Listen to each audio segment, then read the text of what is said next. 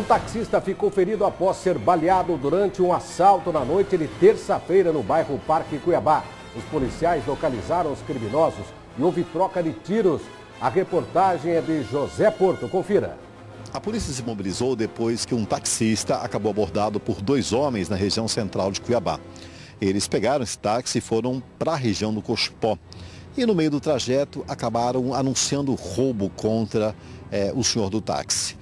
Uma testemunha acabou percebendo o que estava acontecendo, acionou a polícia e a Rotan é, partiu em prosseguimento para, claro, né, é, interceptar os bandidos e conseguir aí resgatar o taxista desse roubo. Eles já tinham ameaçado a vítima é, que queriam, além do dinheiro do taxista, o veículo e seguiriam com ele para a região é, de Santo Antônio, é, da MT 040, é, já saindo em sentido à rodovia dos imigrantes. E o desespero da vítima é que poderia morrer nas mãos dos bandidos. Os taxistas, claro, eles têm muito medo em relação a isso, porque também não é muito comum um bandido roubar táxi. Eles roubam táxis para fazer outros crimes.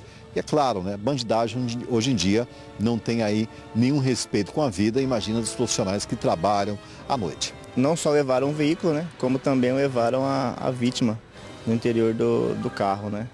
E sequestraram esse é, Foi, de certa forma, um sequestro. Inclu inclusive, a, a, vítima, nós entramos em contato com ela, ela disse que foi muito ameaçada, né? Disseram que iriam matá-la. Ele já estava jurado de morte, a vítima. Né? O é, medo era esse. É, os criminosos estavam ameaçando ele e diziam que iriam matá-lo, né?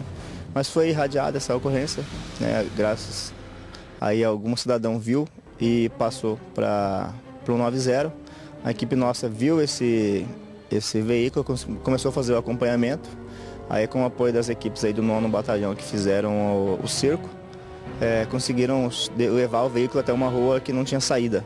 Né? A partir daí eles desceram do, do veículo, desceram disparando, a nossa equipe revidou. Um deles conseguiu foragir, né? o outro foi detido. Agora, é, a vítima já está recebendo atendimento. A princípio, é claro que a polícia está analisando ainda nessa troca de tiros o que, que pode ter acontecido, se ele foi baleado antes ou se foi na troca de tiros, mas o que importa também é que esse homem está bem, tenente. Ele não está, não corre risco de morrer. Sim, eu recebi todo o atendimento, foi levado para o pronto-socorro. Está passando por cirurgia, mas a princípio passa bem. Agora, é uma modalidade que o bandido utiliza, é, tenente, inclusive, de colocar a vítima nessa condição. A polícia não tinha todas as informações é, relativas a isso. E, é claro, o bandido atirando, a polícia tem que reagir, tenente. É uma situação difícil, né? É realmente uma situação complicada, né? Os, os criminosos efetuaram disparos, né? A nossa equipe apenas tentou cessar essa ação deles. Agora, o que chama atenção também é que a gente viu aí né, a equipe do senhor que conduziu esse homem até a unidade de saúde, já o criminoso, e eles retornaram aí já com uma proteção, uma máscara, tenente, porque já foi é, atestado aí que esse criminoso, inclusive, tem uma doença contagiosa, parece que uma doença aí, a, a tuberculose. Né? Isso, é porque a, a Polícia Militar tem que dar atendimento a todos, né? A gente Sim. atende a vítima, atende também aos criminosos. Então ele foi levado a, também para receber atendimento médico e no SEI foi constatado que ele tinha essa doença. É mais um desafio, Tenente. Expõe aí a saúde, o risco do policial que trabalha, né? ou seja, é uma doença complicada e perigosa. Sim, geralmente as equipes não têm essa informação, né? Se a pessoa tem ou não algum tipo de doença, então as equipes estão sempre assim, correndo esse risco né, de se expor a algum tipo de, de doença. Bom, aconteceu o fato da vítima ser atingida, mas está fora de risco, o veículo recuperado e um bandido preso. Exatamente, pelo menos o cidadão está bem, né? Foi recuperado o seu bem e um cidadão, foi, um criminoso foi detido. Obrigado, Tenente Horst, a ação da Rotan.